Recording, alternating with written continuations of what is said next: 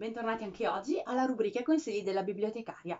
Oggi parleremo di grandi temi universali eh, che attraversano la letteratura, eh, cioè il rapporto tra malattia e amore eh, e tra il eh, fortissimo impulso alla vita, appunto, che dà l'essere innamorati eh, e la paura della morte. Eh, sembrano temi pesanti, in realtà non tutti i libri di cui parleremo trattano questi argomenti con toni cupi, anzi ho proprio proprio scelto dei libri eh, che parlino di questo argomento in maniera diversificata, eh, sia per il pubblico che si rivolgono, sia per l'età dei loro protagonisti, eh, sia anche per eh, lo stile di scrittura. Eh, questo per, per, mostrare appunto che eh, delle tematiche così profonde possono comunque essere trattate in modo differente.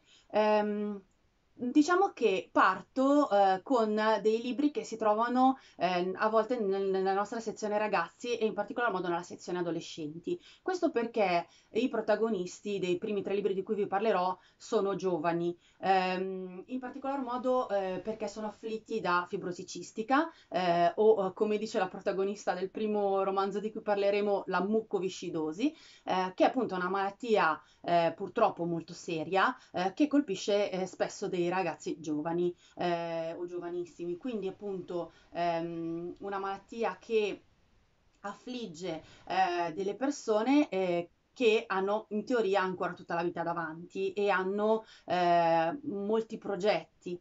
Eh, questi romanzi, pur essendo in realtà nello scaffale young, eh, sono godibilissimi anche dagli adulti. Um, la letteratura è trasversale, eh, spesse volte i grandi classici per ragazzi sono eh, ottimi da leggere per gli adulti per capire determinate cose e io personalmente trovo che spesse volte la letteratura per adolescenti abbia un approfondimento psicologico di protagonisti eh, proprio perché i protagonisti sono in fase di definizione, stanno cercando chi sono fondamentalmente, la propria identità, eh, a volte più approfondita di quelli degli adulti. Eh, quindi per esempio io non sono più adolescente, però ho trovato davvero davvero molto interessanti i titoli di cui vi parlerò. Eh, trovate comunque tutto nel box in descrizione, sia i titoli sia gli autori, sia dove potete trovare la versione cartacea di questi libri, ma anche la versione digitale, perché vi ricordo che è sempre possibile prendere in prestito anche la versione ebook dei libri di cui vi parlo tramite la piattaforma MLOL. Vi lascio tutti i riferimenti nel box in descrizione. Eh, anche, anche, gli ebook sono sempre un servizio gratuito della, offerto dalla biblioteca.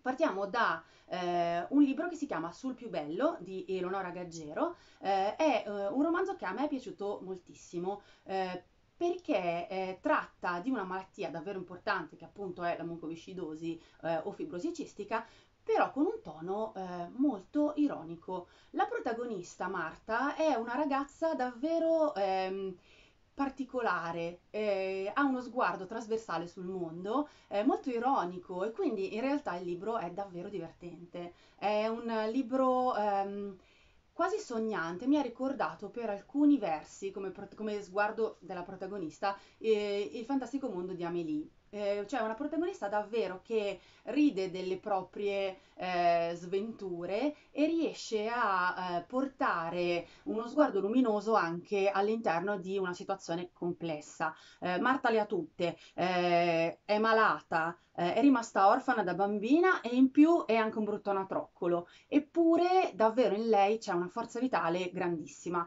questa cosa mi ha colpito molto e davvero mh, mm, voglio fare complimenti all'autrice piace Eleonora Gaggero perché, eh, pur essendo molto giovane, è riuscita proprio, o forse proprio perché è molto giovane, è riuscita a offrire ehm, un linguaggio mh, immediato, quasi cinematografico, al suo libro. Eh, ve lo consiglio caldamente e vi leggo la trama. Marta ha 19 anni, vive a Torino e si riferisce a un brutto anatroccolo senza possibilità di redenzione. In effetti, diciamocelo, non è per niente bella e anche la fortuna non è dalla sua parte. Orfana dall'età di tre anni e affetta da una malattia che ha un nome che è tutto un programma, mucoviscidosi. Le speranze che possa vivere una vita normale eh, sono poche, pochissime. Però Marta ha spirito, ironia, forza di carattere, tutte cose che si è conquistata con i denti e che nessuno le può togliere. Ma soprattutto Marta non ha niente da perdere e ama le sfide. Così decide di lanciarsi in un'impresa impossibile, vivere l'amore sul serio e non con un ragazzo qualsiasi, bensì con quello più bello del pianeta, Arturo, irresistibile, atletico, fidanzato, una partita persa, una specie di suicidio dell'autostima. Eppure si sa, la vita si mette in moto quando noi decidiamo di fare un primo passo ed è proprio questo miracolo che sfugge ai piani di Marta. Ve lo consiglio, eh, esiste anche il film, eh, però non, non, esiste in DVD, c'è soltanto su Netflix, quindi se avete Netflix dategli un'occhiata perché è carino anche quello. Eh, vi parlo poi di un altro libro eh, che si chiama A un metro da te eh, di Rachel Lippincott, eh, che sta appunto nella nostra sezione Young ehm, che affronta sempre il tema della fibrosi cistica, dove due ragazzi, eh, questa volta sono i due innamorati, sono entrambi malati di, di fibrosi cistica. Ehm, il tono è più drammatico, il taglio è più drammatico, ma comunque anche qui eh, si affronta la tematica del desiderio eh, di vivere eh, una vita piena e autentica, nonostante o forse proprio perché eh, c'è la malattia. Nel senso che questa sensazione che i giorni siano, tra virgolette, contati, eh, spinge a vivere ogni giorno davvero fino in fondo. Come puoi amare qualcuno che non puoi nemmeno sfiorare? A Stella piace avere il controllo su tutto, il che è piuttosto ironico, visto che da quando è bambina è costretta a entrare e uscire dall'ospedale per colpa dei suoi polmoni, che sono invece totalmente fuori controllo. Lei è determinata a tenere testa alla sua malattia, il che significa stare rigorosamente alla larga da chiunque o qualunque cosa possa passarle un'infezione e vanificare così la possibilità di un trapianto di polmoni. Una sola regola tra lei e il mondo, mantenere la distanza di sicurezza, nessuna eccezione. L'unica cosa che Will vorrebbe poter controllare è la possibilità di uscire una volta per tutte dalla gabbia in cui è costretto a vivere, praticamente da sempre. Non potrebbe essere meno interessato a curarsi o a provare la più recente e innovativa terapia sperimentale. L'importante per lui è che presto compierà 18 anni e a quel punto nessuno potrà più impedirgli di voltare le spalle a quella vita vuota e non vissuta, un viaggio estenuante da una città all'altra, da un ospedale all'altro, e di andare finalmente a conoscerlo, il mondo. Will è esattamente tutto ciò da cui Stella dovrebbe stare alla larga. Se solo lui le si avvicinasse troppo, infatti, lei potrebbe vedere sfumare la possibilità di ricevere dei polmoni nuovi. Anzi, potrebbero rischiare la vita entrambi. L'unica soluzione per non correre rischi sarebbe rispettare la regola e stare lontani, troppo lontani, uno dall'altra. Però più imparano a conoscersi, più quella distanza di sicurezza inizia a somigliare a una punizione, che nessuno dei due si è meritato. Dopotutto, cosa mai potrebbe accadere se per una volta fossero loro a rubare qualcosa alla malattia, anche solo un po' dello spazio che questa ha sottratto alle loro vite? Sarebbe davvero così pericoloso fare un passo l'una verso l'altra, se questo significasse impedire ai loro cuori di spezzarsi? Vi parlo adesso del romanzo sulla fibrosi cistica probabilmente più famoso, che mh, mm, probabilmente avete già sentito nominare o avrete addirittura già letto, eh, ma non si può non citarlo, che è Colpa delle stelle. Ehm, il titolo originale è The Fault in Our Stars, cioè il difetto nostre, nella nostra costellazione, nel nostro destino. Eh, e la trama è, è, questa, è sempre nella sezione eh, Young. Hazel ha 16 anni, ma ha già alle spalle un vero miracolo. Grazie a un farmaco sperimentale la malattia che anni prima le hanno diagnosticato è ora in regressione.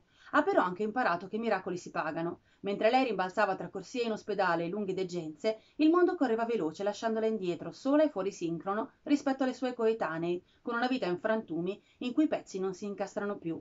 Un giorno però il destino le fa incontrare Augustus, affascinante compagno di sventure, che la travolge con la sua fame di vita, di passioni, di risate e le dimostra che il mondo non si è fermato. Insieme possono riacciuffarlo ma come un peccato originale, come una colpa scritta nelle stelle avverse, sotto cui Esel e Augustus sono nati, il tempo che hanno a disposizione è un miracolo e in quanto tale andrà pagato. Esiste anche la versione um, ebook e anche il film, eh, vi metto anche la collocazione, lo trovate eh, nella nostra sezione drammatica eh, in Sala Monaco. Eh, passiamo adesso invece a un altro tipo di malattia. Se ora abbiamo parlato sempre di ragazzi che lottavano per rubare un giorno in più alla loro esistenza, adesso passiamo invece a, invece a un paziente che ha scelto di non voler accettare la sua malattia. Eh, infatti il protagonista di Io prima di te di Giorgio Moyes ehm, Will Trainor ha subito un incidente che lo ha eh, reso paralizzato eh, e ehm, totalmente dipendente dagli altri. Questa dipendenza dopo eh, la sua vita precedente, eh, che appunto era invece molto movimentata, molto avventurosa, ehm, Will non riesce ad accettarlo, non riesce ad accettare la nuova situazione in cui si trova e eh, vorrebbe porre fine a questo tipo di sofferenza. Eh, quindi diciamo c'è eh, proprio una, un cambiamento nella visione del mondo e, e della malattia. Eh, il romanzo di Giorgio Moyes si trova nella eh, sezione rosa, eh, nella nostra sezione appunto in sala Monaco al piano terra, eh, e ehm, da questo mh, mm, libro è stato tratto anche eh, un bellissimo film con Emilia Clarke e Sam Cleflin ehm, che vi consiglio e metto anche appunto il, il link del film, il link dove potete trovare il film. A 26 anni Louisa Clark sa tante cose sa esattamente quanti passi ci sono tra la fermata dell'autobus e casa sua, sa che le piace fare la cameriera in un locale senza troppe pretese nella piccola località turistica dove è nata e da cui non si è mai mossa, e probabilmente nel profondo del suo cuore sa anche di non essere davvero innamorata di Patrick, il ragazzo con cui è fidanzata da quasi sette anni. Quello che invece ignora è che sta per perdere il lavoro e che per la prima volta tutte le sue certezze saranno messe in discussione. A 35 anni, Will Traynor sa che il terribile incidente cui rim- di cui è rimasto vittima e che l'ha inchiodato su una sedia a rotelle gli ha tolto la voglia di vivere. Sa che niente può più essere come prima e sa esattamente come porre fine a questa sofferenza. Quello che invece ignora è che Lou sta per irrompere prepotentemente nella sua vita, portando con sé un'esplosione di giovinezza, stravaganza e abiti variopinti. Nessuno dei due, comunque, sa che la propria vita sta per cambiare per sempre. Vi parlo adesso dell'ultimo romanzo eh, di oggi eh, che invece parla eh, di una sindrome da immunodeficienza. Ehm, la protagonista, eh, Madeline, eh, non può uscire di casa per nessun motivo. ha passato tutta la sua vita in un ambiente asettico perché appunto eh, questa grave immunodeficienza di cui soffre la porterebbe, se venisse a contatto con persone che non, hanno non fanno parte appunto del suo ambiente sterile, a, alla morte certa. Um, il libro si chiama Noi siamo tutto eh, di Nicola Yun, è sempre nella nostra sezione eh, Young e, e ehm, esiste anche la versione cinematografica eh, che, di cui vi metto appunto il DVD anche in questo caso.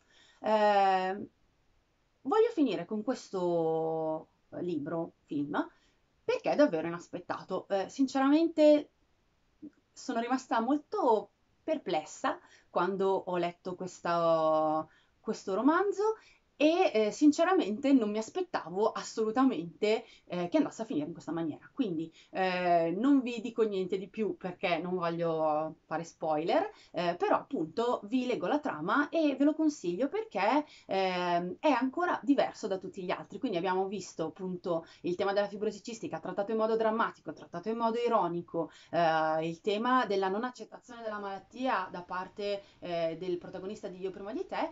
adesso invece parliamo di di due protagonisti innamorati, eh, ma eh, qui la malattia eh, avrà un risvolto totalmente inaspettato. Madeline Witter è allergica al mondo, soffre infatti di una patologia tanto rara quanto nota che non, per, eh, che non le permette di entrare in contatto con il mondo esterno. Per questo non esce di casa, non l'ha mai fatto in 17 anni, mai un respiro d'aria fresca né un raggio di sole caldo sul viso. Le uniche persone che può frequentare sono sua madre e la sua infermiera Carla finché un giorno un camion della ditta di traslochi si ferma nella sua via. Madeline è alla finestra quando vede lui, il nuovo vicino. Alto, magro, vestito di nero dalla testa ai piedi, maglietta nera, jeans neri, scarpe da ginnastica nere e un berretto nero di maglia che gli nasconde completamente i capelli. Il suo nome è Holly. I loro sguardi si incrociano per un secondo e anche se nella vita è impossibile prevedere sempre tutto, in quel secondo Madeline prevede che si innamorerà di lui.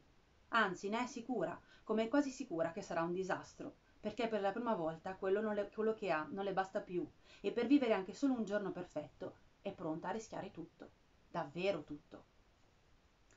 Spero di avervi incuriosito con questa carrellata di romanzi e vi saluto, grazie per aver seguito anche oggi i consigli della bibliotecaria.